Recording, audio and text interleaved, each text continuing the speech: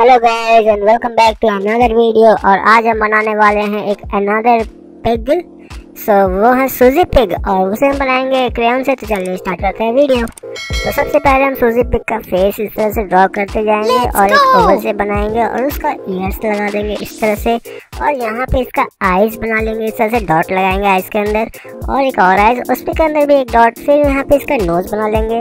और फिर यहाँ गाल को सा सर्कल ले लेंगे ठीक है? इसके बाद यहाँ पे एक हैप्पी स्माइल दे देंगे इस तरह से और यहाँ से हम इस तरह से बॉडी बनाएँगे सूजी पिक का। और इस तरह से हम एक बॉडी बना लेंगे रेक्टेंगल शेप में और थोड़ा सा हाथ के सामने छोड़ के फिर वहाँ से हम एक लाइन टान लेंगे और हाथ को हम इस तरह से बना लेंगे। फिर यहाँ इसका जो पूछ है वो बनाएँगे और फिर यहाँ से हम इसका जो लेग है राइट लेग और लेफ़्ट लेग दोनों को हम इस और से बना लेंगे ठीक है? और इसका जो लेफ़्ट हैंड है उसे हम बनाएँगे इस तरह से लाइन टानेंगे और ये बन गया। अब यहाँ पे हम फिल कर लेते हैं कलर से मैंने व्हाइट कलर लिया है फेस के लिए और फेस को हमने व्हाइट कलर मतलब हल्का व्हाइट और हल्का पिंक के बीच में जो कलर रहता है वो है ठीक है इस तरह से मैं इसे फिल कर लूँगा पूरा ठीक है? आप इस तरह से फिल कर लो आराम से फिल करना। और लाइन के ऊपर ज़्यादा मत फिल करना, बस लाइन के अंदर ही फिल करना इस तरह से।